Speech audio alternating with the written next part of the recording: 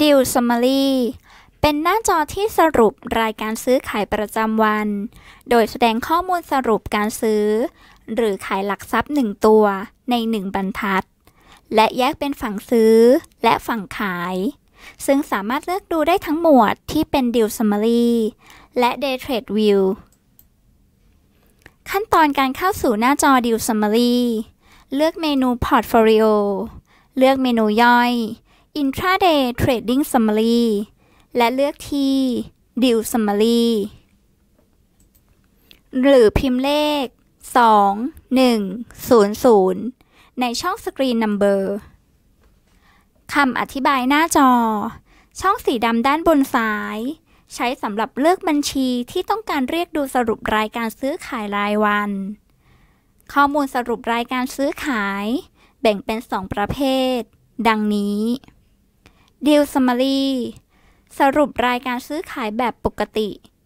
กล่าวคือ กรณีมีรายการซื้อ หรือขายเกิดขึ้นภายในวัน ระบบจะใช้ค่า average cost เพื่อคำนวณกำไร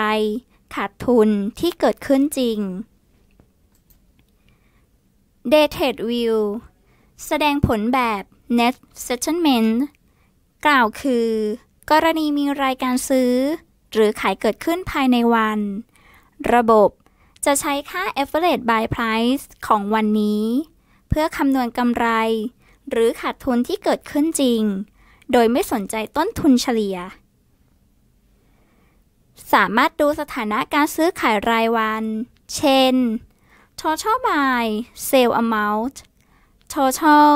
com free VAT net amount realize และเปอร์เซ็นต์ realize คลิกที่ปุ่ม refresh เพื่อเรียกดูข้อมูลล่าสุด ด้านล่าง แสดงข้อมูลรายการซื้อขาย average price volume amount ทั้งฝั่งซื้อ ฝั่งขาย และรายละเอียดอื่นๆ เช่น ค่าคอมมิชชั่น ค่าธรรมเนียม ภาษี ข้อมูล realize และเปอร์เซ็นต์ realize ของแต่ละหลักทรัพย์ได้